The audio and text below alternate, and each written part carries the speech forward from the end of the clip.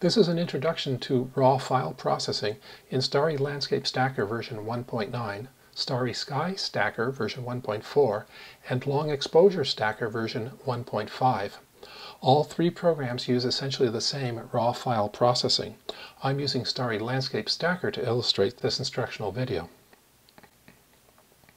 So I have four files here. Two of them are dark frames and two of them are light frames. I will open them and the first thing that happens is I get this panel for adjusting the raw conversion settings. These are your factory defaults that you can change in the preferences, and we will get to that in a moment.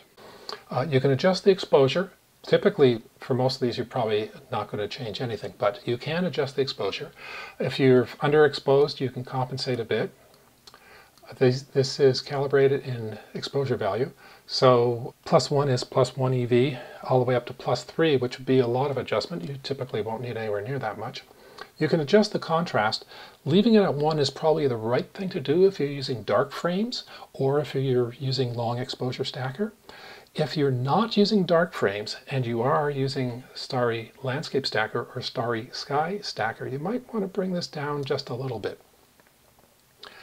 Uh, luminance noise reduction, you probably don't need any of that. I don't use color noise reduction.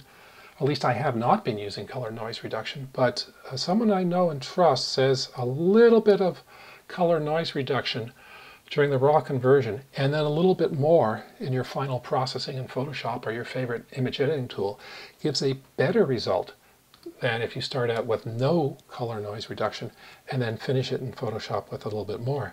I haven't tried that yet. I can't tell you for sure that works, but it's something that you can play with to find out what works best for your camera. Finally, the white balance. You can change these and the white balance settings you use will be applied to all of your images identically, which is of course what you want to do. Uh, in this case, these are defaults that I've entered in my preferences, and we'll see in the preferences some other options when we have these set the way we want, we just hit done and our files are read.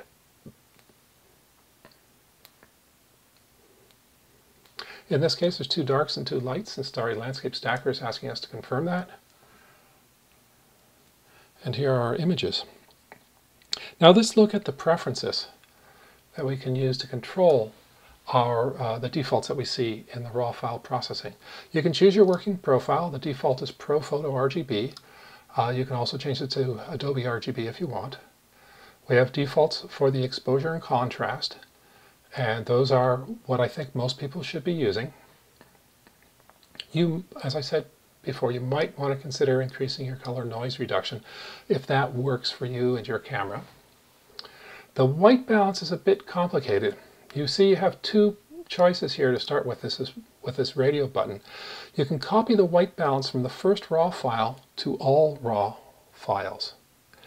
That would be appropriate if you use uh, manual white balance and you always set it correctly. I choose the second option because I always use auto white balance, which works fine during the day, but at night it's always wrong. So I choose this second option and I use these values, which are appropriate white balance values for night photography. If you're a beginner using auto white balance, this is probably the right thing to do. If you're an experienced night photographer and you're using manual white balance, you might want to change to copying the white balance from the first raw file into all the others. Now, that's for Starry Landscape Stacker and Starry Sky Stacker. For Long Exposure Stacker, the default is to copy from the first raw file because in the case of Long Exposure Stacker, you're probably stacking day images and using auto white balance or manual white balance, whatever you've done, the right answer is almost certainly to copy the white balance from the first raw file into all the others. So let me restore this to factory defaults for Starry Landscape Stacker. And there's one last thing here to talk about, and that's the warnings. If the white balance of a bunch of files is changed on read, you can get a warning I can't remember for sure if it's off by default or on, but if it's on by default, it can get very annoying, so you can turn it off.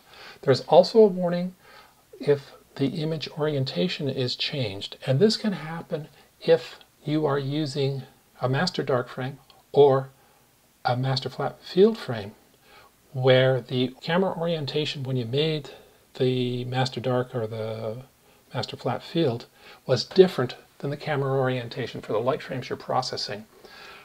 Starry Landscape Stacker will automatically correct that and make sure that uh, the camera orientation is the same for all. And it will warn you if it changes it. Uh, you might want to know about those warnings, you might not. By default, you will know about those warnings, and you can turn it off by checking here. Or also, when the warning comes up, there's a checkbox to always hide it, and then you could come here and turn it back on.